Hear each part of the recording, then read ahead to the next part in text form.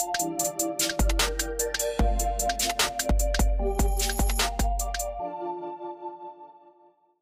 out in Atlanta.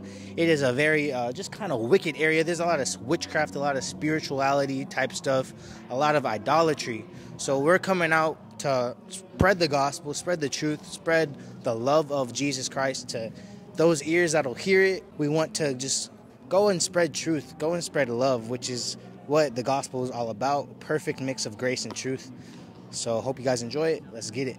All right, so I'm here with. Vic. All right, so I ran here to get to him, but I'm curious, bro. I hear you talk about a lot about like positivity. Like, where do you think we go when we pass away?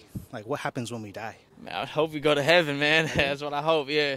Cool, cool. So, like, what if I was dying right now, and I'm like, like, how would I get there? What would you say? I'm not sure. I mean, Not sure. It's a that's a Like, if I like got stabbed, I'm like, bro, I'm scared. What do I do? What would you say? I would lean on God. I mean, bro, I got faith in God, so whatever whatever He's gonna do with my body after that is is on Him. Cool. And so, like, where do you where do you get faith in God from when you grow up? Did you have an encounter in your life? Why do you have faith in Him? Man, I got faith in Him because I think He led me in every direction I had to go into. You know, every everything that I had to do always came with a message from Him, mm-hmm. and the clearest message in my life I ever had from God was to pick up clippers. And it was I, I don't even I don't know exactly when I heard it, but it, it felt like it was word for word. It was the first time I heard something word for word. He told me if I if I, if I took barbering serious, uh, it would open doors for me. So I really found my personal relationship with God around my senior year of high school, Yeah. coming into like you know 16, 17 years old. Okay. Cool, cool. And it's like there's a lot of gods out here nowadays. What what what's your god? Who's your god? And God is subjected to the person that believes in it. You know, Yeah, yeah, yeah. so whoever God is to you is, is is enough. So I just believe in somebody believing in a higher power for whatever that is. Yeah. I, I actually used to be an atheist. Do you mind if I share a quick story with you? Yeah, you go. You can for sure. Cool. So I was an atheist till the point where like I would debate people actually. Like I would tell them God's not real until I had a crazy encounter myself to where like I wasn't high, I wasn't drunk, like nothing. And I felt the presence of God so strong after I let someone simply just pray for me to see the truth, whether I wanted to believe it or not. And so when they prayed for me, I felt this fresh wind in my body.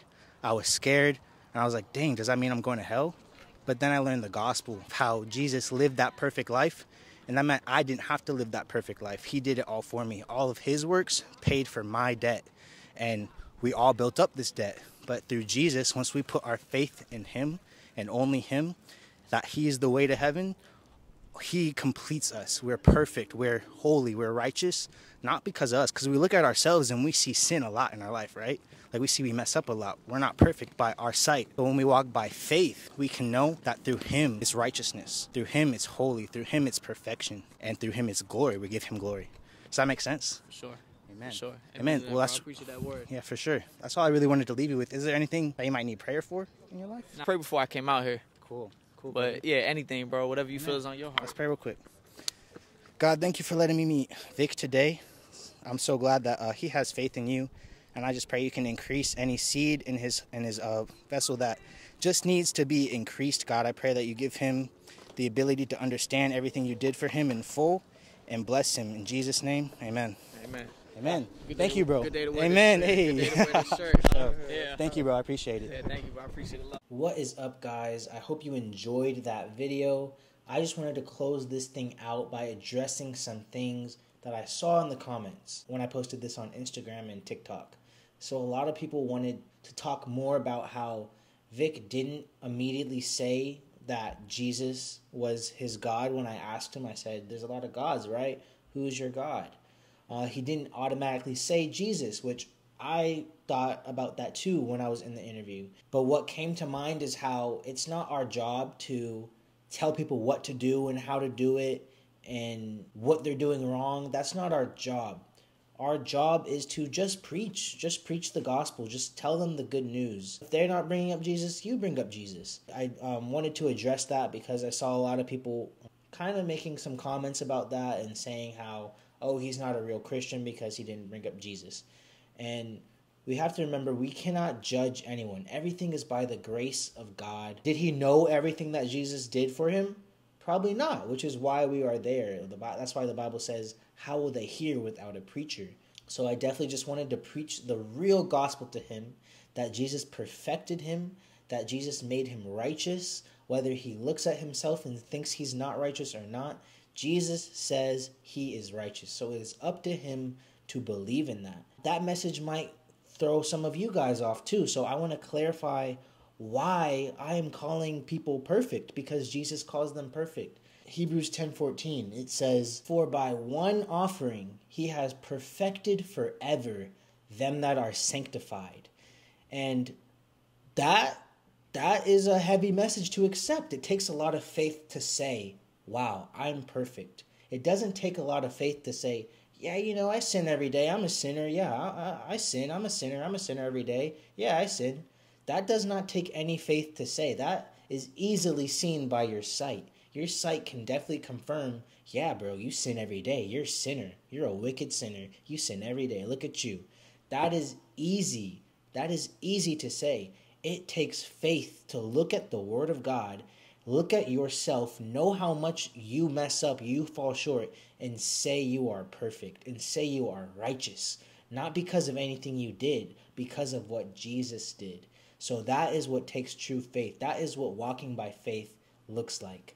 Turning away your thoughts, telling you you're some sinner, telling you you're not worthy, telling you you're this and that. It takes turning away your mind, turning your your your way of thinking off and looking at the word of God and putting the word of God above your thoughts. So that is what I wanted to reiterate to Vic because I don't know if he's ever heard that because a lot of people really don't preach that message. They say, do better, do better, do better. You have to do better. Stop sinning like that. Stop sinning like that. Which is good advice. It's good advice because transgressing the law only does lead to darkness. The law is not a bad thing, but it is a curse. And we cannot present a curse to God. We cannot present our cursed earnings to God because God only wants us to present Jesus to Him. Jesus is the only thing God can accept. Not thing, by the way, but the only sacrifice that God accepts. God does not accept your sacrifices of doing the law good because you break the law every single day. So I wanted to bring that real that real good news to Vic because that is good news. And a lot of people might say, "Well, you're saying that we're sanctified forever, we're perfect forever, so I can just sin however I want." That's not at all what I'm saying. Because if you think that you can now sin however you want, you think you have a license to sin now, then that means you didn't understand what you were saved from. That means you don't understand the value of what Jesus did. That means you thought you were good. You weren't struggling in sin. You weren't feeling like you were drowning in your sin. Imagine that you were drowning in a lake or something and there's a lifeguard that tries to give you a life vest. But you know, every every every 10 seconds you're able to kick yourself up and, and get some air. So every 10 seconds you're like, okay, I'm breathing. But then you start drowning again. But you look at the person next to you and you realize, dang, they're not getting any air at all. At least I can kick myself up and breathe. You think you're good. You think you don't need saving. So that's what we're doing when we're saying, oh, oh, I can sin however I want. You already thought you were good. You already thought you were saving yourself. But once you realize, dang, I have a life vest, I can breathe now. Now, the person that gave you the life vest is like, here's another life vest. Go give it to them. And that's what we're doing as the body of Christ. That's what we're doing as Christians. We are giving people the life vest, which is Jesus Christ. So if you're receiving that life vest and going, what do you mean? I can't I go swim however I want now? Can I just go swim however I want? That is what you were doing if you accept this gospel, this good news, and think you can just do whatever you want. You don't understand the value, which I believe means you didn't actually receive it. Because if you receive that good news, that gospel, it only brings gratefulness, it only brings joy, it only brings you a way out, a way out from denying yourself and accepting the word of God, which says you are perfect forever. So that's the message I want to give to you guys, and I wanted to give to Vic. I hope you guys liked the video, and I'll see you in the next one.